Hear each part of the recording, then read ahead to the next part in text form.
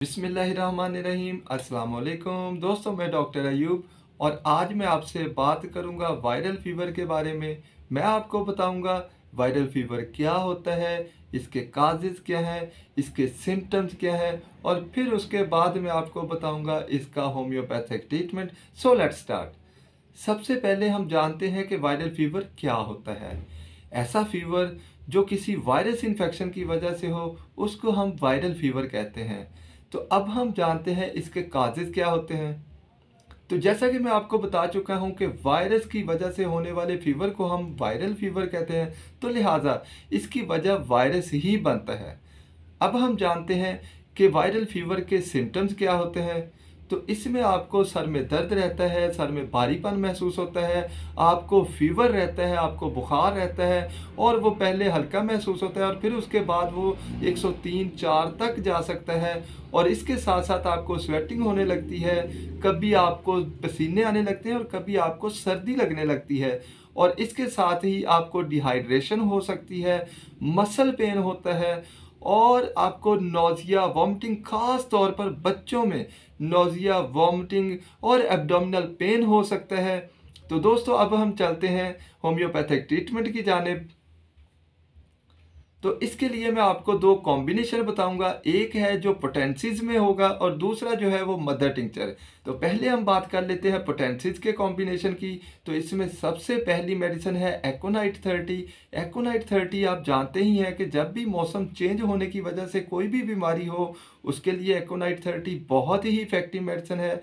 Fever के लिए aconite thirty बहुत ही इफ़ेक्टिव मेडिसिन है। नेक्स्ट मेडिसिन है एलियम सिपा थर्टी। अगर आपको छींके आए तो एलियम सिपा थर्टी बहुत ही इफ़ेक्टिव है। खास तौर पर जब छींकों के साथ आपको फीवर भी हो तो उसके लिए एलियम सिपा थर्टी बहुत ही इफ़ेक्टिव मेडिसिन है। इसकी नेक्स्ट मेडिसिन है यूपिटोरियम पर थर्टी।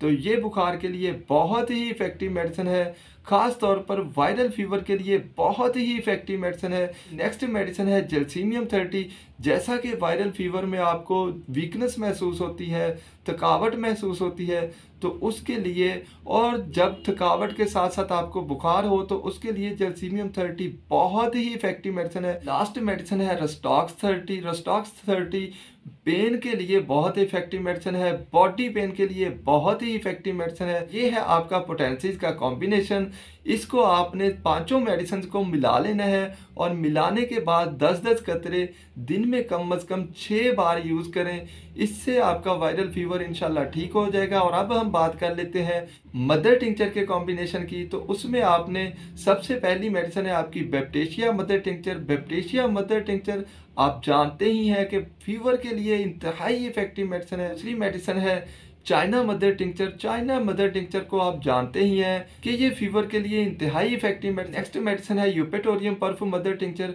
eupatorium perf जैसा कि मैंने पोटेंसीज में भी बताया, मदर टिंचर फॉर्म में भी ये फीवर के लिए इंतहाई इफ़ेक्टिव मेडिसिन है। और इसकी चौथी और लास्ट मेडिसिन है ocimum sanct. Ocimum sanct fever के लिए भी और आपकी इम्यूनिटी को बढ़ाने के लिए भी इंतहाई इफ़ेक्टिव मेडिसिन है, ये तुलसी से बनती है। तो इन चारों को मिला लें और मिलाने के बाद तीस तीस कतरे दिन में चार बार यूज़ करें। तो इससे आपका वायरल फीवर इनशाला तीन से चार दिन में बिल्कुल ठीक हो जाएगा।